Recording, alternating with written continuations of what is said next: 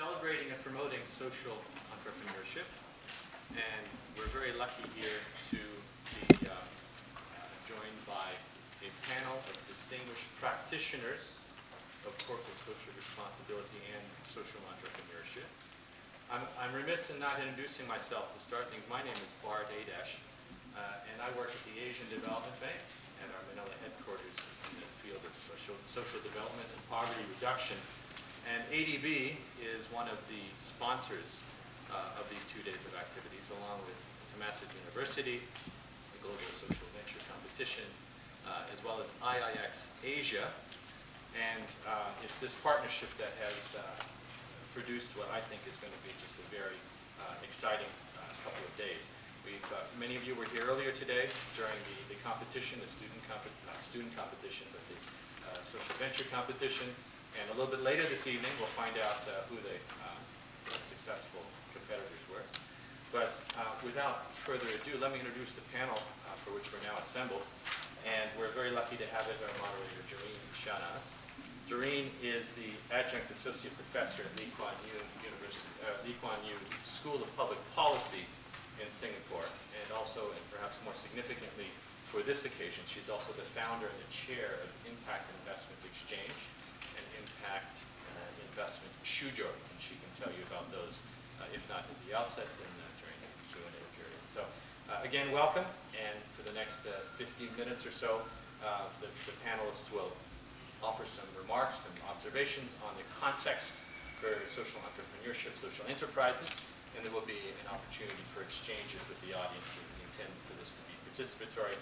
So if you have questions or your own comments, uh, please uh, feel free to contribute later in the program. Thank you and welcome.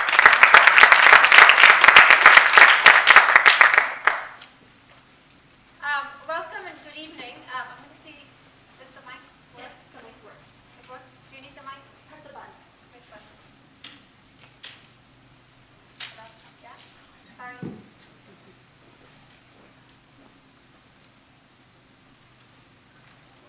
Yeah? It works? Okay, Great. Okay, that's fine. Um, so, so welcome, and I want to congratulate um, all the participants today. As I was telling you earlier on, greet them, that uh, I'm really glad that I didn't have to do what you're doing, because uh, I don't think we could have done it. So fantastic jobs. You all did a fantastic job, and I know everyone's waiting to get the results.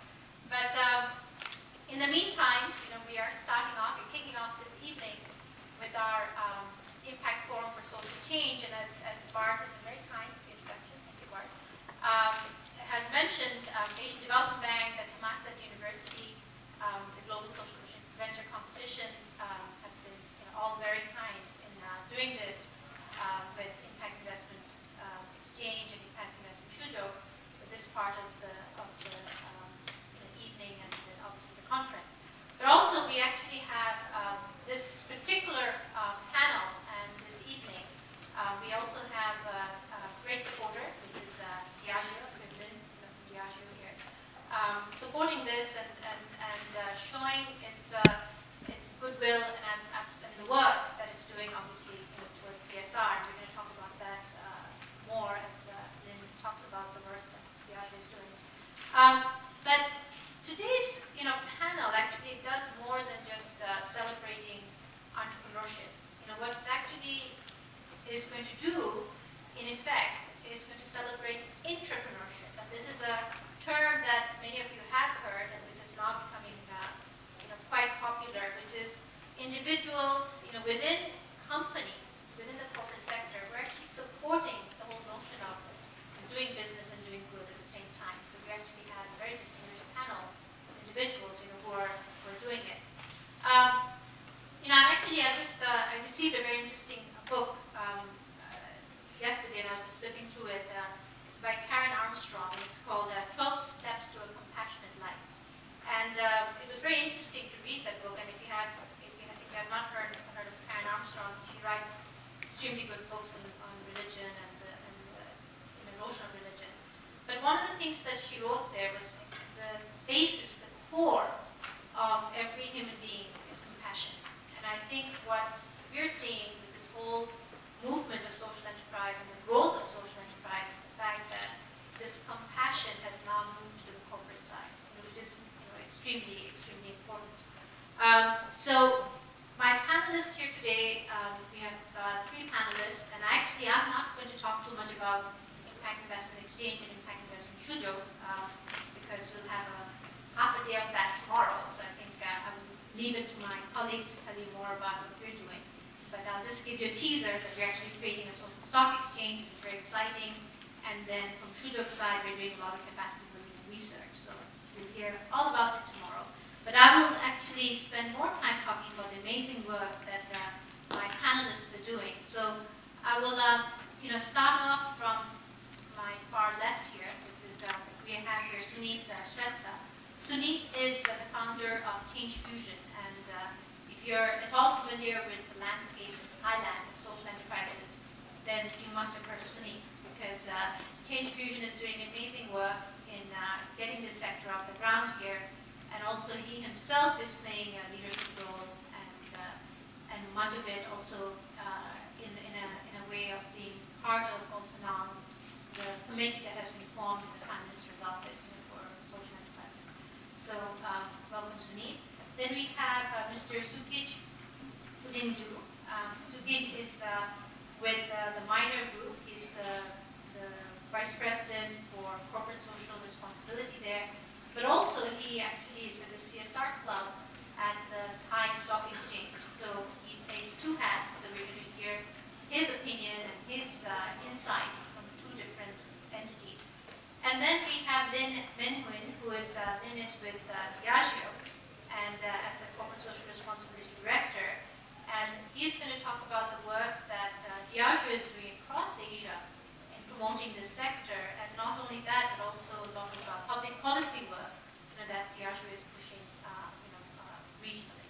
So here's my panel, and what I'm going to request my panel is each one of them um, talk a little bit about the work that they're doing, and then uh, we'll open it up with some questions, and it'll be very informal, so we can have a discussion. And uh, then the last few minutes, uh, I will keep you in suspense, but we'll do a little something quite interesting. So I will, I will leave it for that, so all of you stay.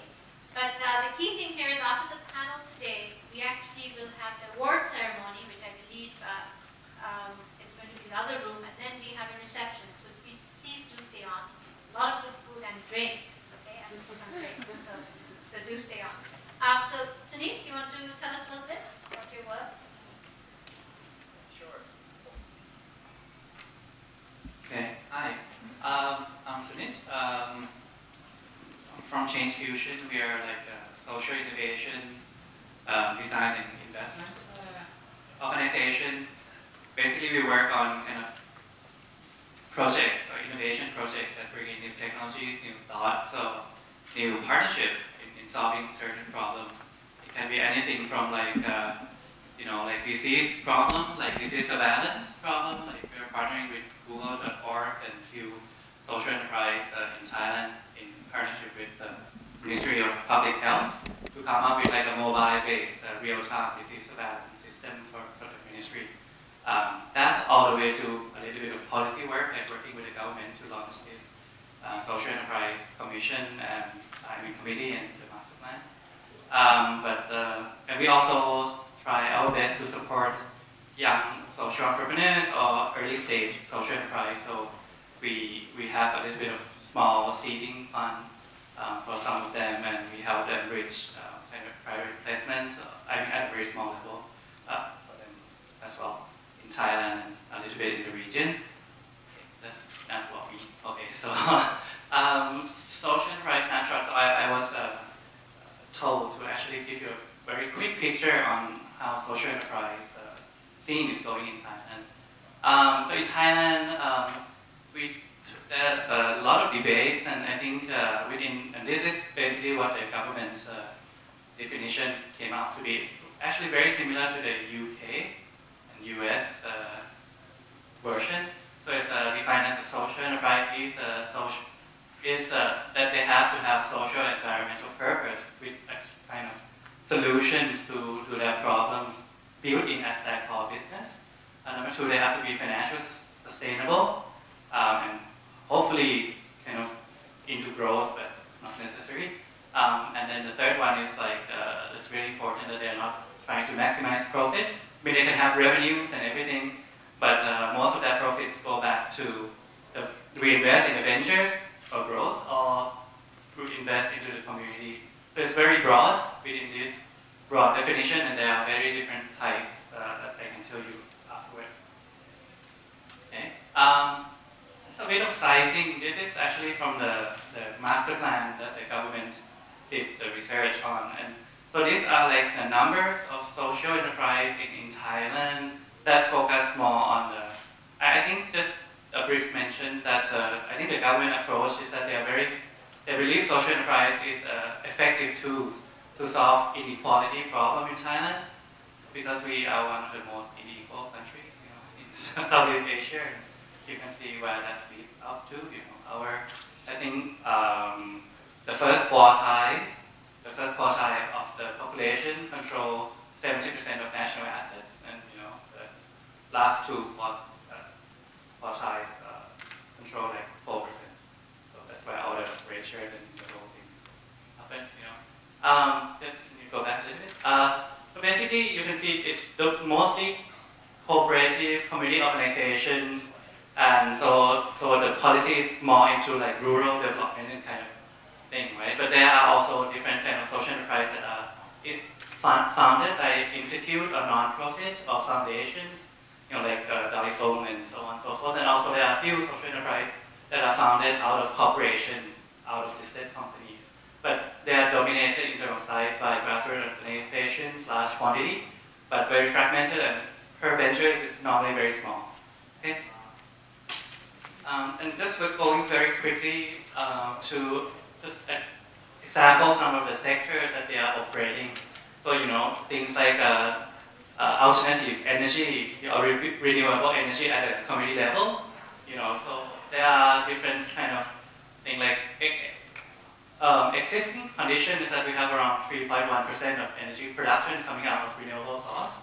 In Thailand, the government set the goals of uh, around 8% by 2011, which is huge, and they are putting a lot of support back up in terms of putting a lot into adders. So a lot of people working on kind of uh, community-based uh, renewable energy solutions like uh, um, biomass plants using gasification so that uh, it's clean kind of thing. Um, you know, and there are companies like that, like Supreme Renewable Energy. You know, so also fair trade. You know, there are some a bit of here and there, especially fat trade on the agricultural products. You know, in, in Thailand, we, we export a lot of agricultural products, and we are like rice and so on, you know, we are on the top shelf, but if you look at the premium market, um, or fair market, like fair trade, organic products, you know, we never are up on the shelf. So we always say we are a kitchen of the world, but I think we are like dirty and not very efficient of the world, but that's a huge market.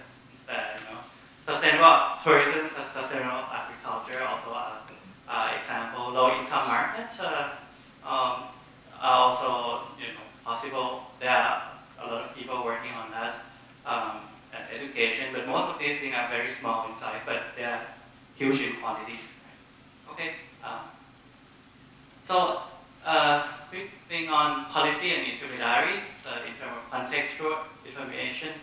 Um, right now, there's actually a process to come up with. They already have a sorry. Uh, so, so now they have a National Social Enterprise Committee, you know, focusing on reducing inequality with Thailand Social Enterprise Office as a secretariat. Um, and they have their master plan and policies being endorsed by the cabinet, um, especially tax-related and border investment kind of policies. Um, they are trying to stimulate uh, private sector investment. Um, and then, but there are very few organizations in Thailand who are actually working on the capacity building of all these potential social enterprise.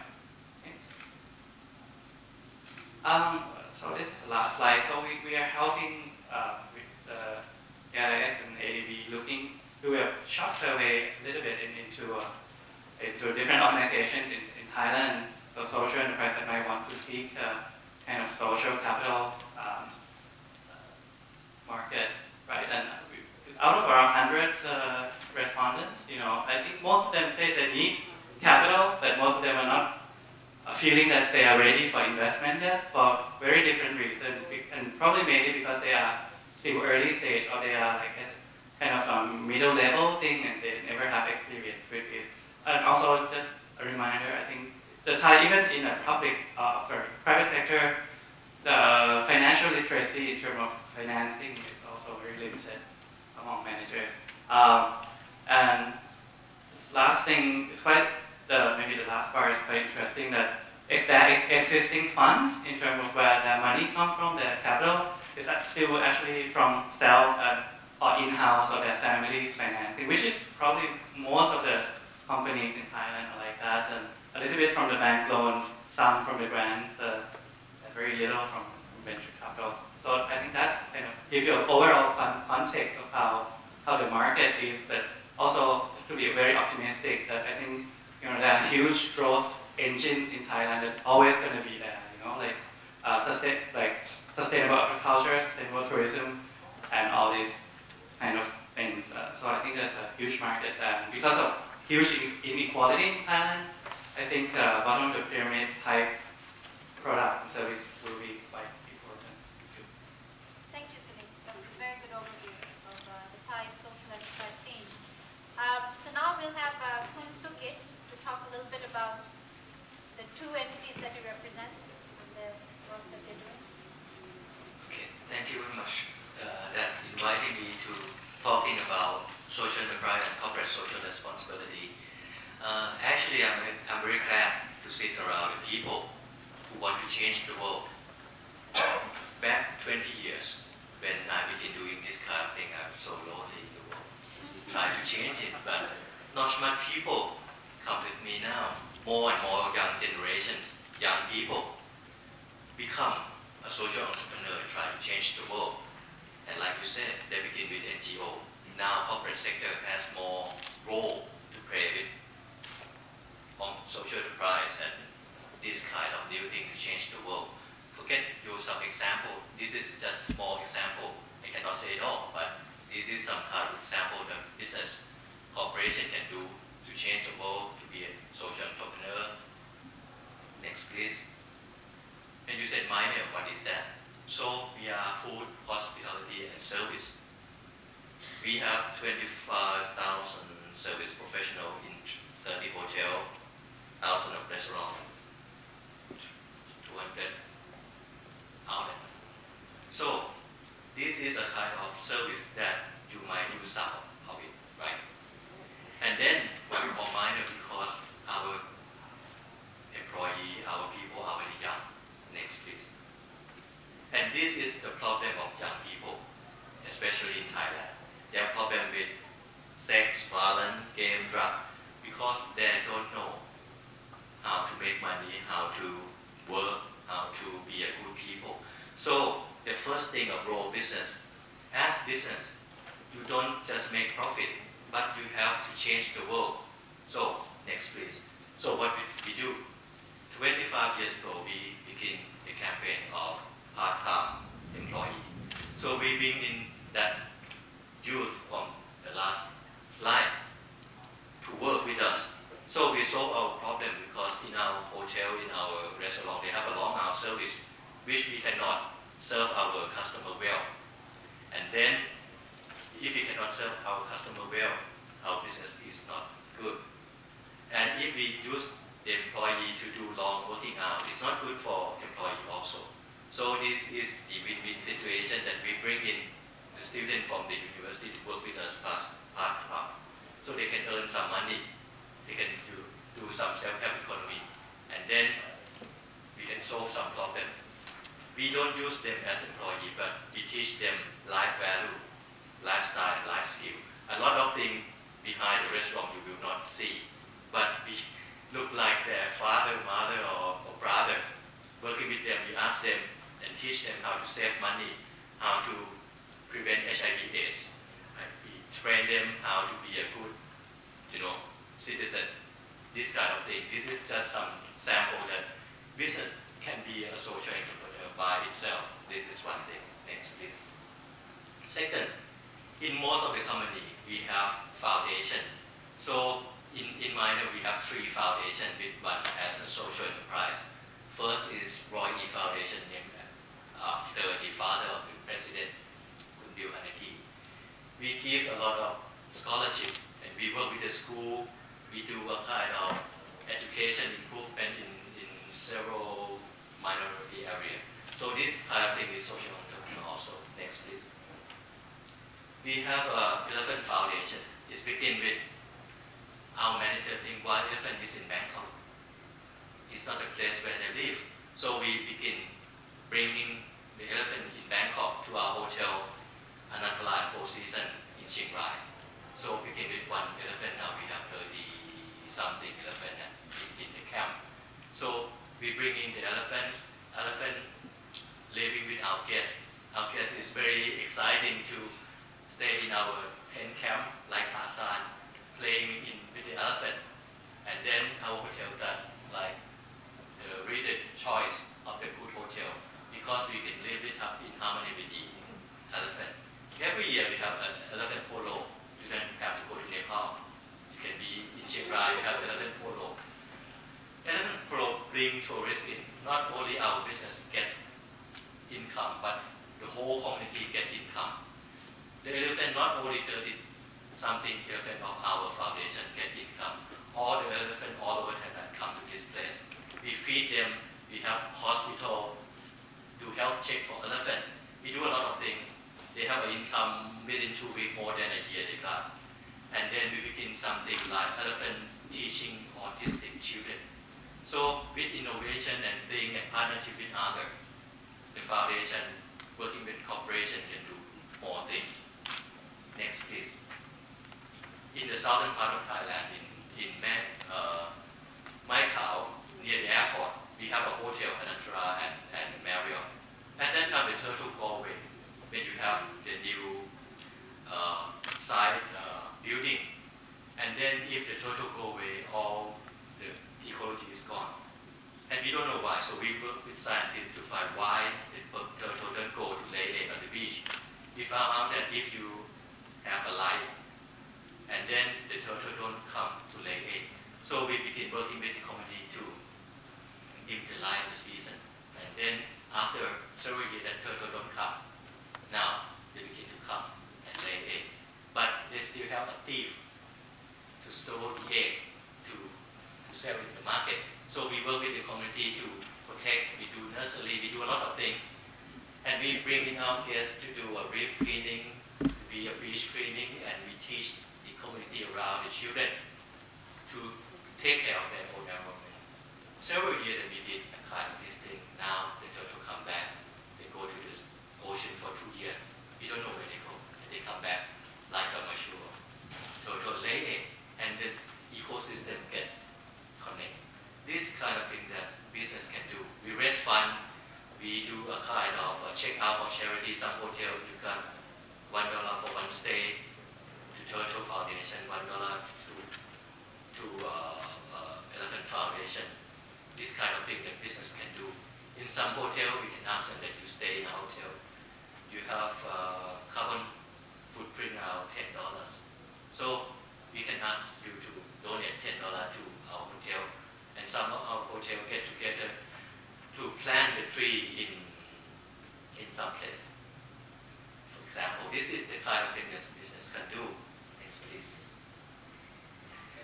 Third, in our business, we can support social enterprise. For example, if you go to our sister outlet, now we work with the Royal Project. So instead of granting them to do things, we buy things. We buy the organic food, vegetable from Royal Project. Not only buying, we're working with the Royal Project to improve the quality of life of farmers. We use our professional to work with the non-profit because non-profit somehow they don't have uh, ability to manage or ability to do a marketing. So we help them. They, they don't have to just sell to us. They can sell to others. That's why we begin to do a campaign. Not only the Royal Project. Now we work with the uh, Change Fusion to find more social enterprise that we can support. So these three things. First, you can be social enterprise yourself.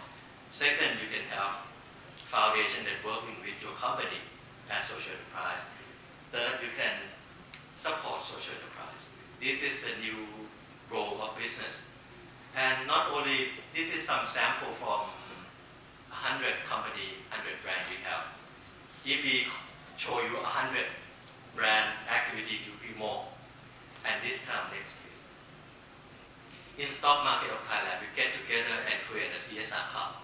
We have 500 biggest company in Thailand get together to do food thing.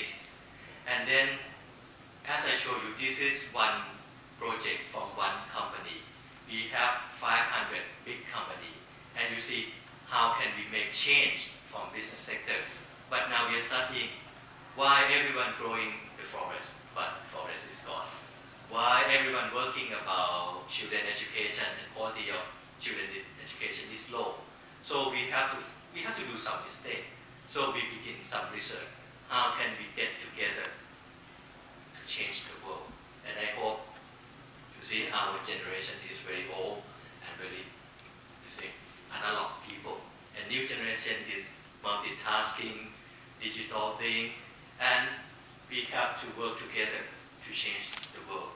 And I said uh, to Durreen that the purpose of social enterprise, somehow we hope to change the world.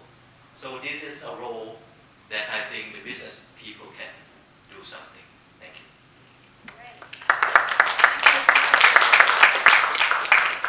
definitely um, you know, way ahead of the rest of us, so this is great stuff. So now we have uh, Lynn Minuhin. Uh, Lynn is going to tell us a little bit about his work. Sure.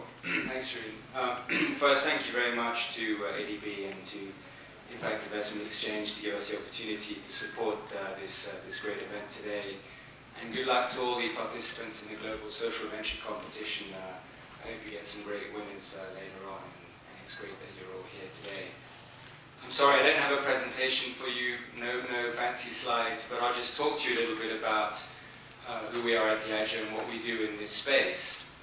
Um, I'm the director for CSR and regulatory affairs for Diageo Asia Pacific, uh, based in Singapore, which is where we have our hub office. Um, and as such, today I'm sort of wearing two hats. I'm wearing my regional hat for Diageo Asia Pacific, but I'm also representing our local colleagues uh, from Diageo Moet Hennessy, Thailand, which is our local company here, um, operating out of Bangkok. And I guess most of you won't know about what we do.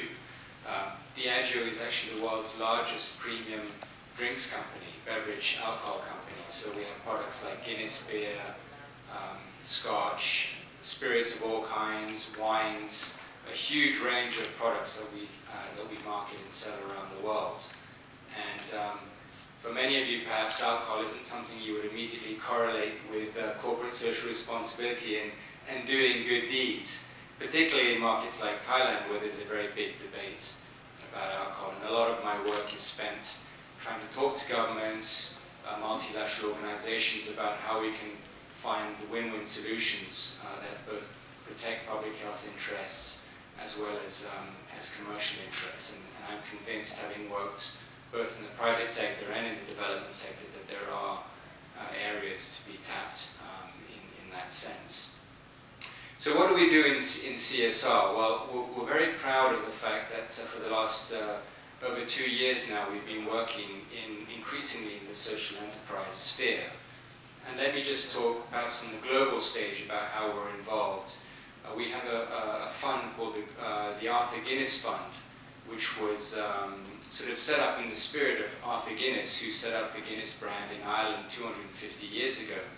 And he and his family over the next two centuries became very famous for all the work they did, uh, visionary work, to support the communities in which they sold their beer. So if you travel around Dublin or London, for example, you, you quite often see buildings with the Arthur Guinness Trust um, written on them. And these were built to support the communities um, particularly poor families uh, in the communities where Guinness was doing business.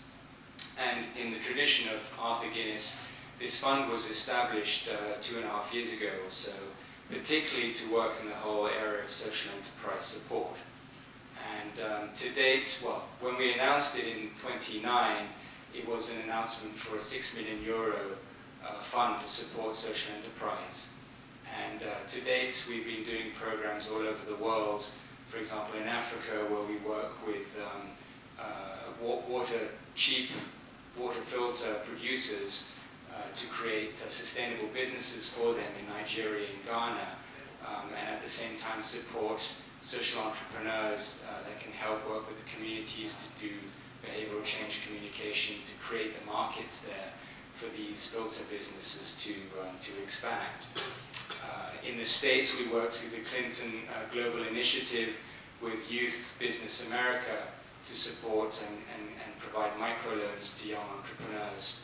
I think we're, we're targeting about 150 entrepreneurs there in the next five years. We do a similar project like that in Ireland with, um, I think it's called uh, Social Enterprise Ireland, one of the biggest social entrepreneur support uh, groups over there.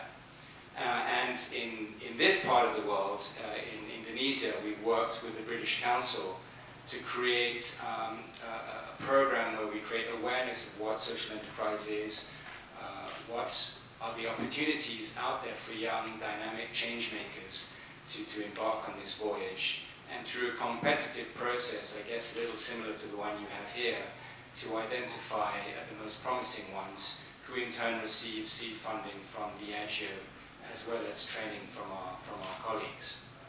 And uh, this is a program that's been going for about a year and a half now, and is already um, uh, bearing fruits. The target, I think, is to is to support 30 established social entrepreneurs who will in turn provide the, the support for about another 150 uh, new, new and up-and-coming uh, uh, first-stage entrepreneurs. And, and, we've got projects that we're supporting through that, such as um, uh, arts and crafts and culture, batik restoration programs, reintroducing valuable Indonesian culture to the community, uh, using agricultural waste to produce um, uh, organic uh, fertilizer and other bioethanol fuel, marine conservation programs, gender empowerment through farming programs. So a lot of very interesting things, as you would imagine, coming through these competitive processes, because people out there have some really good ideas. So that's sort of what we do through the Arthur Guinness Fund. Now I'm that sort of controlled, although I'm sort of an overseer of their program in Indonesia, that is controlled out of Ireland. But I sit here uh, running the Asia Pacific business, CSR side of the business. And I have uh, increasingly demanding and challenging requests from my bosses about creating really impactful CSR programs in the region. And uh, knows the story because I've told it before. I, we sponsored a, a social enterprise support uh, forum in Singapore called QI or QI last, uh, last October, I think it was, and I talked about this then. But the challenges we face here are that, you know, I cover a region from India to Australasia, encompassing also the Middle Southeast Asia and North Asia, China, and Japan. So a very huge uh, uh, landmass with a, a, broad diversity of economic and, uh, uh and social and cultural uh, differences. So how, did how do I identify a program that would cover all of these. It could be a reasonable template uh, to cover all of these. And that has been a big challenge for me uh, at Diageo working in CSR. But really through this whole thing we're talking about today, social enterprise, I think that has given me the appropriate theme around which to build variations in the different markets, markets in which we operate. Because, as you all know, we all have problems defining sometimes exactly what social enterprise is what is a social entrepreneur? When I talked about this to my colleagues at Diageo, when I first ran it past them, they said, why would we give money to a company? They, they just didn't get it. They're beginning to get it now, but it takes a lot of time, both internally as well as externally. Uh, but I think because of the flexibility this whole field provides us, you know, we're not particular about the areas in which we can support, uh, but uh, it gives us that flexibility to build variations in different markets. So, well, for example, we're looking at scaling up what we do with the British Council in Indonesia, in other countries, for example, like in, um, in Vietnam, China, and Korea. Uh, also, next next week, actually, we're about to launch, uh, uh, open, celebrate the uh, the final stage of a water program that we've supported in Vietnam uh, with partners uh, East Meets West Foundation, who in turn are supported by a Bangkok-based group called Watershed Asia, based out of University of North Carolina. And that's all about water and sanitation support through social enterprise models. So what we've set up in Ninh Thuan province in Vietnam is a program where you know, we've set up the water system, we've covered all of that, uh, but the beneficiaries actually have to pay for a little for, for access to that water. And in doing so, that will sustain the operations of this. In, in effect, the, the program becoming a utility. And so for us, for me, that qualifies uh, as, as a sort of a social enterprise-based model, uh, which we are also increasingly keen to explore opportunities elsewhere um, throughout the region. Water and sanitation is, is, an area of particular interest, of course, because we rely on high-quality water uh, to produce um, to produce uh, uh, our products.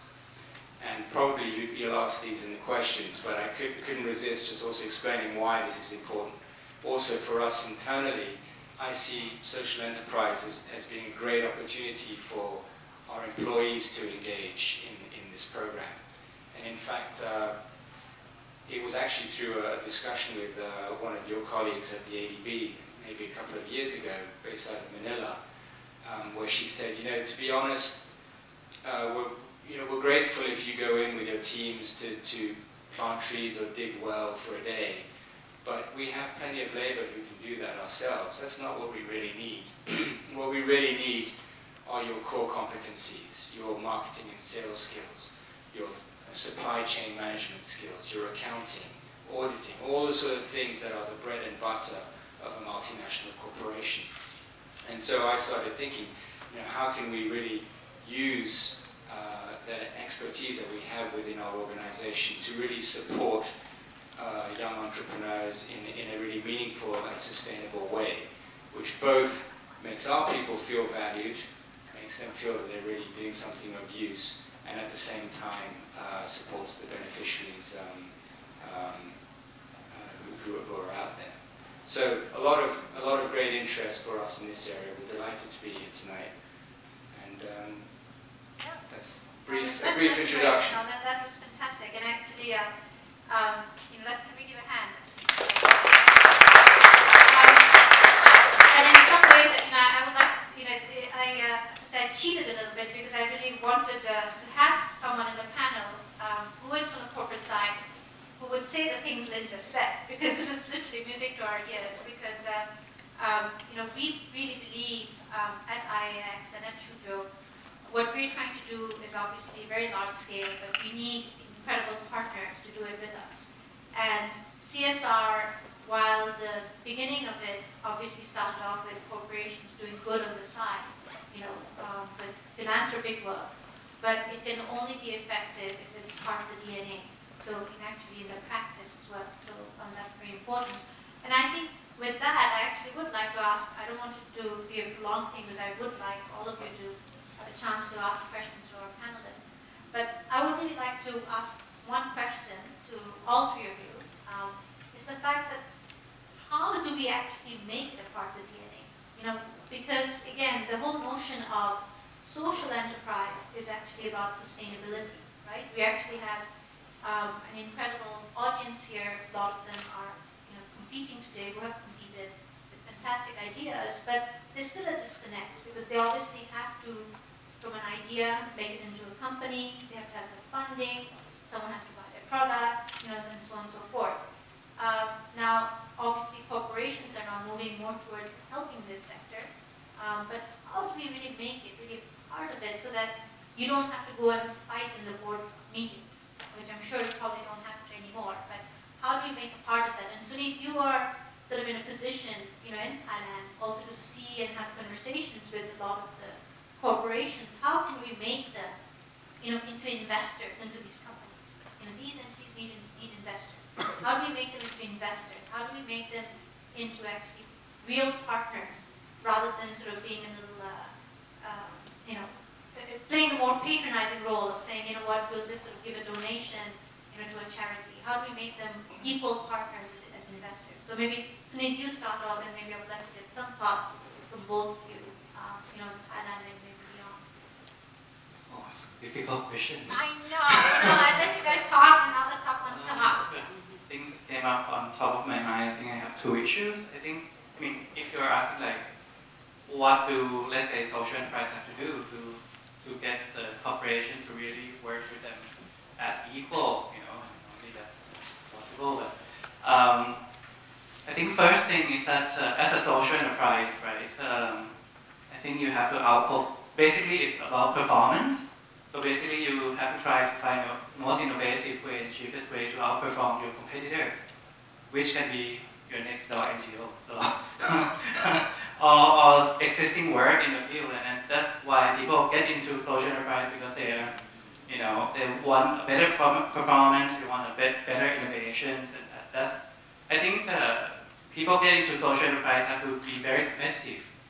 You know, so so I think number one, especially if you're a startup and you don't have big names, you know, on your advisory board or something, then you have to just outperform everyone, right? How do they get those members? How do they get advisory board members if they want to get them?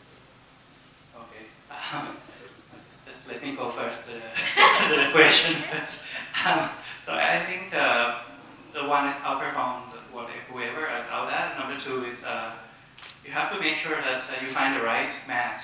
You know, basically just don't go to to all to any corporation so to see whether you know the, the work are doing and the work that the corporation is doing have a strategic match. And this can be anything from kind of corporate image for some reason, or like you know like he was talking about the water issues, or even go beyond that kind of thing and get into something that uh, you know, like the Yunus Center here is trying to promote uh, what they call hybrid value chain, you know, trying to work with them to come up with a new product or service for the new market that, you know, they can't do it themselves. Uh, uh, so new social business like what they are doing with Danone and, and so on. So, so I think that's kind of my two, say, two things, right? So everyone and try to be very strategic and and because only when they perceive you as a strategic uh, values or assets, you know, they will always think of you as assets anyway, then they would basically work with you in a more equal or more interesting way. How do you get member of the board? Uh, you send a note to you. Yeah, I mean, depends on how old are you. Normally, if you're not so old and you are young, then you can try. You can you look okay. Normally, you find the people in the, in the no, no, not, not like that. I meant, I, I meant, uh, you know, like, like successful people that first, you, like normally you, you already have someone in mind, right, are uh, successful in that particular industry that can help you, right? And then normally if you are young enough and you have a good idea, normally, you know, if you, those people would like to talk to you, and your job is to make sure that they see themselves in you, then suddenly, you know, they will come on your board. That's my trick anyway. But the second thing is, again, I think if you actually test your idea on the market very quickly in terms of prototyping the service, you know, get things done a little bit and you show some early results, I think that's where your board member would get very excited and, and, and join you. So, do you want to add to that? Uh, maybe let it get back to the question, right? The good DNA, banning people. I al always believe that to change the world, it have to come from people, not other people force you to do, but begin from you inside. The problem is, how many people have that kind of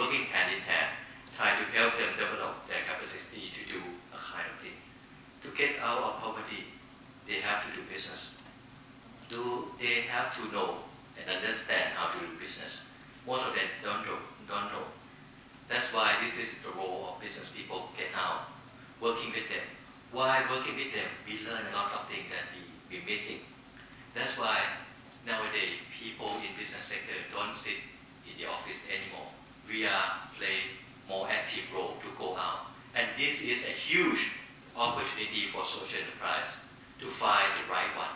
And we try to find the right one also.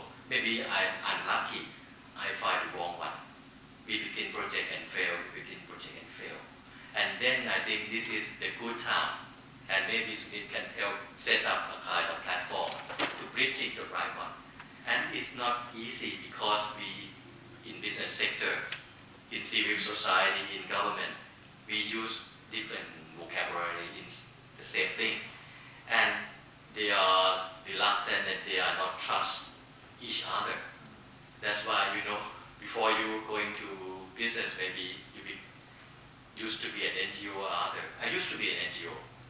I used to be a government advisor. Now I'm business. So that's why I can speak T language in Thai. But T different language, the government language, the civil society language, the business language. So communication is the best thing to develop among the group. And get back, if you have triple bottom line with passion, you will begin the sustainable thing. And the sustainable thing begin from human. It's not begin from rule, regulation, or somebody force you to do. How can we create more and more new generation too? That's why at the moment CSR Club at the stock market of Thailand, we get together to do CSR at the corporate level. Now we proactive go out to the university. We try to promote a kind of new term, some of you know, USR, University Social Responsibility. Some of them has this kind of, you know, thing to compete. There are several things like student in free enterprise competition. There are more things about complete service and do good things. So we try to force professor in university to change because if you do not change and you don't lead by example, student will not change. That's why now business people are more active role in this kind of thing. Right, right. You're absolutely right. And the role of, that you're playing as an entrepreneur, I think that's, that's very crucial. Min, can you add to that? Um, yeah, both of you have great points there. I mean, just the simple point about the language and the different vernacular that's out there, the different terms that are being used to express the same meaning, make this whole sector very confusing. And if there would be a way of, through this, through the group you have today and tomorrow, of, of just even coming to an agreement of what common terms you might use going forward in your network, I think that would be, you know, it sounds very small, but it would be actually quite powerful and. Um, other things that just sprung to mind were, you know, I know this from speaking to my internal stakeholders and trying to get my bosses and people who work on the commercial side to, to understand why it is so important that we're involved in, in this sector and why it makes a big difference to our CSR program. You, you need to develop the skills to communicate what you want to do. Of course, it's going to be an enterprise with a social uh, outcome. Channeling whatever it is back into supporting an environmental or social cause, but you need to be able to express those in commercial terms, in terms that business people will prick up their ears and listen to. Because if all they see is all the language you usually, or you've traditionally seen coming out of the civil society sector, I know it's changing, but if that's all you see uh, for the time being, then they sort of switch off and think that's just you know people wearing comfortable sandals sort of thing. Um, or, you know, this isn't really something that means anything to us. So get used to thinking, trying to think how uh, a, donor or a funder from a, a, private sector company or corporation would be thinking when looking at your applications and, and you know, what they would want to see out of that because that will make a huge uh, impact. And in fact, one of the things I was, you know, I was mentioning earlier on about engaging our employees, I mean, that's, that's the whole point of this, is to provide um, entrepreneurs at perhaps the lower level of their development stage with the skills with which they can go and speak to the likes of Durreen when you go up the scale towards, you know, raising funds on, on, a, on, an, on, an, on an SE's a stock exchange, for example, or speaking to venture capitalists, that sort of thing. So that, that's all part and parcel of what's in our mind about how we can support this. Of course, you need to do, you need to ensure, and that's the work perhaps of Khun Sukij and Khun Sunit working with the, the government, we need to ensure that there is an increasing, uh, increasingly supportive uh, public sector that uh, provides, uh, that understands the sector, that's not nervous about it as an alternative way, um, and that will begin to make policy changes to support it. And that, of course, is another great indicator of, of, the impact of the, of the work we do, both at high levels and at low levels. So those are just some, some observations I have. Um, it's very interesting. I think the one theme that kept on coming up, and I think it also shows with all of your backgrounds, the fact that you very um, effectively have straddled, in your, even your own careers, you know, the public sector and the private sector and the civil society And it seems like with the whole promotion of social enterprises, the entrepreneurs have to very effectively do that as well. Um, and it will be obviously easier and easier as we move forward. I'm going to open this up to the audience now, and this is a very rare opportunity where you actually have people who speak your language. So this is actually a fantastic opportunity. So, you know, I will open it up. Do you have any questions, issues? You know, ask them for support. You know, so what, whatever you want to do for the next few minutes, this is your chance. I didn't bring my checkbook. No, no, but it's all right. They, they, are, you know, they'll, they'll remember it. I see, Riaz, you have a very big smile on your face. I'm assuming you have some... Well, I have always, somebody else can start. I think Yunus Center can maybe the, the initiator, given the work you're doing on the social business side. Yeah, yeah. I just wanted to take up this, uh, this theme of languages, and, and it seems to me that uh, when, when I see uh, in Thailand, the interesting thing is, I'm not loud enough. Uh, the interesting thing is that I meet people in the corporate sector who are trying to do, uh, go beyond merit making and charitable activities to do something, uh, but they don't quite know what to do. And then I meet NGOs who have these brilliant ideas and they don't have the money. And so it seems to me that if one could sort of get the two of them together in some way or the other, that'd be a fantastic sort of win-win situation. But the problem is one of attitude on uh, the NGOs think the corporate sector is evil personified, and the corporate sector thinks NGOs are inefficiency personified. So, uh, so, so there's expectations on both sides that have to be bridged, and I think you all are talking about that. And both sides have to sort of give up certain certain things. For example, the corporate sector has to give up the idea of, I think there's a time difference, that if you're going to go into a social enterprise, and it's not easy, I think it's a very difficult sector, you have to allow for a lot of time because things are not going to change overnight. Whereas businesses look at a much shorter time horizon than what I would think of as a social enterprise. So this time thing is very important, I think. NGOs think in a much longer time, perhaps too long, infinite, whereas corporate sector is thinking in terms of one month. So, so I think this is a real issue. I mean, I'd like you all to say something about that. Um, shall we take one more question and then I've been told we are running out of time, so yes. Uh, okay. Um, so my question is that, is there a role for intermediaries to help bridge this gap? For example, like, you know, Ashoka does some of it with the hybrid value chain. Is there a need? So I'll just jump in very quickly. Um, I forgot to mention actually one of the most important parts of our uh, social enterprise program through the Guinness Fund is working with Ashoka.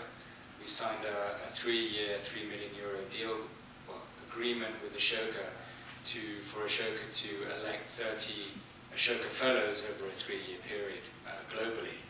Um, so I think was certainly learning and, and realizing that you have to take a long-term perspective on this. I have to do a lot of work internally, telling my people, you know, you can't expect results tomorrow, next month, as you mentioned. This is a long-term thing. There will be failures too, I'm sure. Um, but we're, you know, we're in it for, for strategic purposes. Um, I don't need to explain why CSR is important for a corporation. I think everyone understands that. But we, we see this as, um, you know, we definitely want to be seen as leaders in innovation in the CSR field. And, and in order to be seen as a leader in innovation, you have to be patient, um, particularly in areas like Asia Pacific, where this whole field is still very embryonic. Um, but you know, we're trying to get in there early. I think this is very important. Uh, the problem is three people speak different language. And like you say, you cannot put NGO and corporate in the same room without preparing. So they are not trust each other. My work all my life is the bridge among three sectors. So you have to warm up a little bit from NGO. NGO think I'm a devil, business taking money. So I try to educate them, warm them up, let them know the business perspective and what they intend to do. Take some time. And you have to work with them for quite some time. In business, they think I'm a bad NGO. In, in the company, want to take money from that, the profit. So I have to work with financial people, work with a lot of executive for quite some years to get them understand this is a real life of people in the village. And then prepare, exchange, learning. It takes some time. And then go to talk with the government policy. And government said, ah, you need a kind of thing. I just need a vote. I don't need a kind of support. So you have to work with different. The problem is how many people have that skill. Are there any, like you said, platform or organization that can help bridging? Because sometimes you don't know, like I don't know who I am. Some of my colleagues who do the same thing said, we have uh, what, what you call split personality. It's a kind of like a madman. You don't know who they are. You talk to community one thing, you talk to the government something, talk to corporate something. But the thing is, you said one thing in different language and get them closer together. I think if we do a kind of social thing or CSR or social development, we have to have some school or some some course that help teach the kind of ability. If not, they cannot link together. But I think nowadays it's different. Young generation, they talk through social media. They link. I begin to see the, the young people from rich family have a social media with villager, have a social media of the government. So it's a kind of change in, in other sense, but we have to train and we need a kind of academic institute to support. And most of all, we have to begin at the early stage that the world is all people responsibility, not business not NGO, not government, but all people. And we have to train young generation at very early stage. Right. Now that, those, are, those are very wise words. And I think um, going back to the question of the intermediaries, I think there's definitely a role to play. And, um, and here is where um, the Change Fusion, Ashoka, you know, I mean, we all play a big role in getting the enterprises ready and absolutely you know, making the, the connection because capacity building um, is a word that you, you know, concept that you keep on hearing. Now the last thing, very last thing, and this is something I will, will wear the hat of uh, IX and Shujog because we do this, um, we've done this very effectively for our Bangladesh conference and it, it worked very well. And uh, I already um, told my panelists that I'm going to do this, which is um, really say one thing that their organizations will do, and if anyone in the audience wants to jump in to, to uh, share their thoughts, to actually turn the ideas that are coming up into action. And obviously, these gentlemen in the panel, they're already doing a lot. Um, but what we'd like to do is, from this gathering that we have, and obviously everything is being taped, so you're on tape, um, we would like to be the messengers in taking this to the different countries. So in Bangladesh, when we talked about the ideas to action, there's a group of corporate sector members who came together, and they actually committed to doing um, work on the low-income housing side. They actually talked about putting a fund together to help the social enterprises. So it was very interesting ideas that came on. Um, again, not to put them on the spot because they're already on, you know, in the spotlight right here. Um, I would like to sort of turn to my panelists and uh, request them one thing. Either they may be already doing it, they want to showcase it for this group of people, um, that we can actually hold you to when we come back again um, and do more work in Thailand and beyond. So who wants to be the brave one? You did say long term, so when we come Long back term. again in can like 10 long term years, as well. or- Yes, it can be long term, but we have a long memory as well, so we will remember. Um, who wants to start? Um, Sunit, do you want to do you want to say something that Change Fusion will continue to do or will do that we can sort of say that is related to this, the words that were shared today? Yeah, definitely. If we are surviving or we are not going bankrupt, we definitely will do this until the day we die. But um, but we, I think we are very committed in terms of intermediaries. I think at a very early stage of some industry, I think this social enterprise thing is a new industry or new niche. You know, you need a lot of intermediaries in the process. And maybe just to a little bit in, into perspective, like I know, like for example, very practical thing, like you know, organic producers and um, people who are into retail, normally they can't talk to each other because, you know, we know there are some markets, but the organic people can't produce accordingly to the standard of the producer and vice versa. I mean, of the retailer. In, in Chiang Mai, you know, the north of Thailand, there's a chain called Rim Ping. It's a very, very good uh, retail chain in, in Chiang Mai. They are working with uh, agriculture, organic agricultural groups.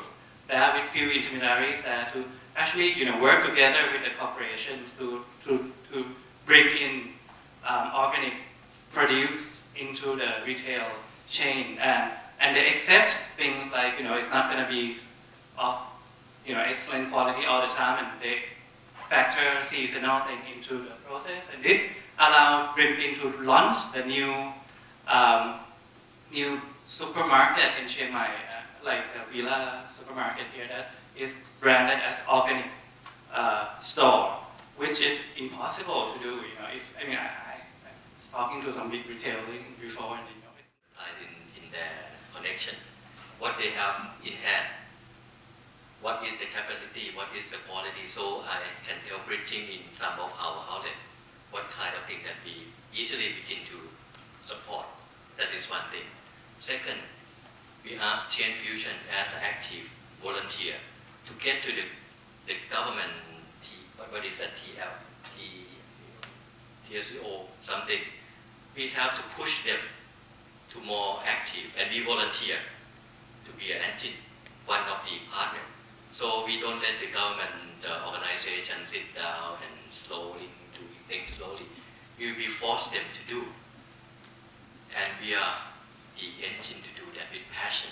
And we have power to support. But they have to provide some some platform. We cannot, you know, passion, passion and government don't do something, NGO don't move but we will be, you play active role as I, I told you. Now business sector has more active role in that and we ask Change Fusion to make appointment, maybe tomorrow they can go. Or even some, maybe tonight if they available we can go. In business world, we cannot wait. And you said, well, next week, next month, why not today? After that we go together, the government, do something. I think, I think that's a great idea to have, to be able to play a role in the public policy side, but I think you can probably, um, you know, Change Fusion will play a role, but obviously, you know, you're in the process already. Um, and I think matching up the social enterprise, the work that they're doing, um, with what you're doing, and frankly, that's what we want to talk to you about also, the work we're doing, um, for Shujog, see what role you can play, so that's great. Then, Yeah, by the end of uh, this year, I guess, um, we would like to be seen, Diageo that is, as, as uh, the leading innovator, innovate, innov- innovating company in this field through the work that I've been discussing today, through greater engagement for our employees in meaningful ways to support really dynamic change makers here in Thailand as well as throughout the rest of the Asia Pacific region. But I'm particularly keen on Thailand because you know I see there's a lot of potential here. There's a lot of ideas. There's also a lot of issues. Um, and while we're talking about government, I also would like to request Khun Sunit to help us uh, build our network uh, with, with the, the, the office of the, the, the Government Committee on Social Enterprise, because I think greater public-private sector engagement in this is really important. So we would love to be part of that. So Great. So Sunit, you have a lot of people with you. So this is fantastic. I know we just created more work for you. Um, but I want you to give a big hand to our panelists. They did a fantastic.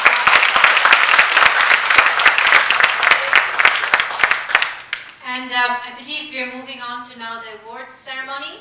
And then again, please do stay on because um, you know we do have the, the drinks. But before that, I would request our uh, managing director from Impact Investment Exchange to give a token of appreciation from IIX and Shujog to our panelists.